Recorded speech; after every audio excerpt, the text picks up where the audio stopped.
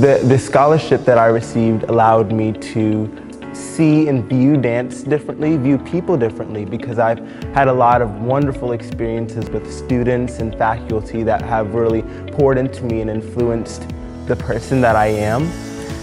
I probably wouldn't have chosen Goucher if I didn't receive the scholarships and financial aid, and specifically the dance scholarship I received made it a viable option.